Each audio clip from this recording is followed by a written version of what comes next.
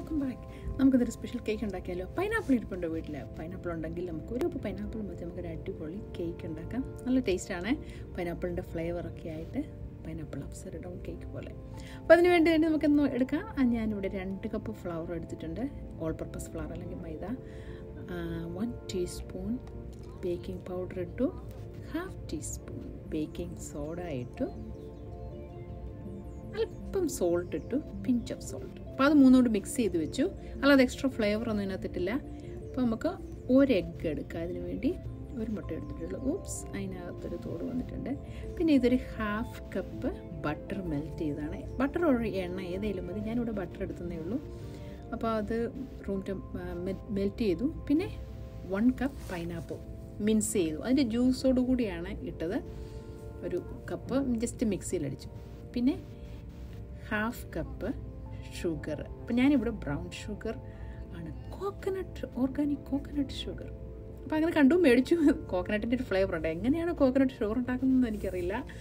But ടേസ്റ്റിയാണ് രണ്ട് sorry രണ്ട് മുട്ട എടുത്തു. അപ്പോൾ നന്നായിട്ട് ഇതിനെ ഒന്ന് മിക്സ് ചെയ്തു. അല്പം അതിന്റെ കഷ്ണങ്ങളൊക്കെ കിടക്കുന്ന കുഴപ്പമില്ല.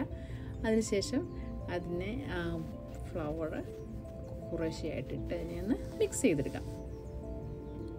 അപ്പോൾ ഇത് മിക്സ് ചെയ്ത് കഴിഞ്ഞ് കഴിയുമ്പോഴത്തേക്കും നമുക്ക് ജസ്റ്റ് ടോപ്പിങ്ങിനായിട്ട് വേണമെങ്കിൽ മതി. ജസ്റ്റ് എക്സ്ട്രാ ഫ്ലേവറിന് വേണ്ടി അല്പം കോക്കനട്ട് ഫ്ലേക്സ് ഒക്കെ ഇട്ട് ജസ്റ്റ് ടോപ്പിങ്ങിന് വേണ്ടി ഇടുന്നുണ്ട്. അപ്പോൾ അധികം മധുരം വേണ്ടാന്നുണ്ടെങ്കിൽ അത് ഉപേക്ഷിക്കാം. അപ്പോൾ അതിന് വേണ്ടിയാണ് ഞാൻ എടുക്കുന്നത് രണ്ട് ടീസ്പൂൺ ഫ്ലവർ എടുത്തു. അതൊരു വൺ ഫോർത്ത് കപ്പ് ഷുഗർ ഇട്ടു.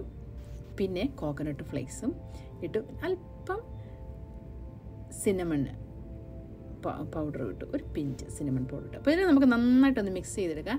മിക്സ് ചെയ്തിട്ട് അല്പം ബട്ടറും കൂടിയിട്ട് ഒരു ഹാഫ് ക്യൂബ് ബട്ടർ എടുത്തിട്ടുണ്ട് ഞാൻ ഒരു ടു ടീസ്പൂൺ എന്ന് പറയാം.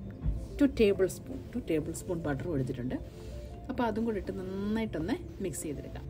അപ്പോൾ അത് ജസ്റ്റ് ടോപ്പിങ്ങിന് വേണ്ടിയുള്ളതാണ്. അപ്പോൾ നമ്മുടെ മിക്സ് ഓൾറെഡി റെഡിയാണ് ഓവൻ ത്രീ സെവന്റി ഫൈവിൽ ഓൾറെഡി ഞാൻ ഓവനകത്താണ് വെക്കുന്നത്. അപ്പോൾ three seventy five already ready ആയിട്ടുണ്ട്. അപ്പോൾ നമ്മൾ പാനൊക്കെ റെഡി ചെയ്തു. ഇപ്പോൾ നമ്മുടെ മിക്സ് വേണ്ട റെഡി ആയിട്ടുണ്ട്.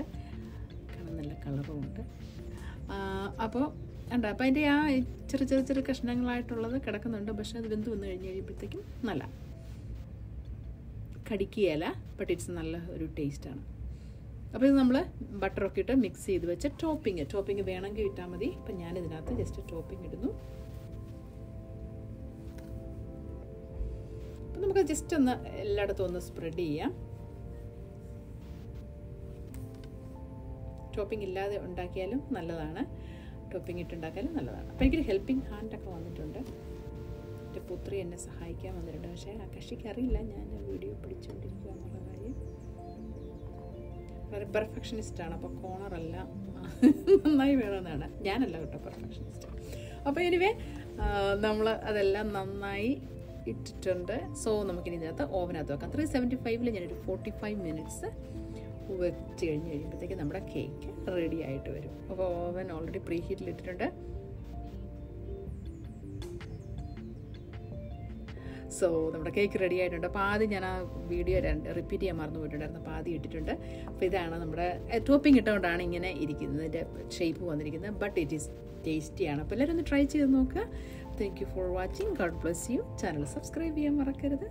Thank you for watching God bless you നമ്മുടെ special pineapple cake fresh pineapple cake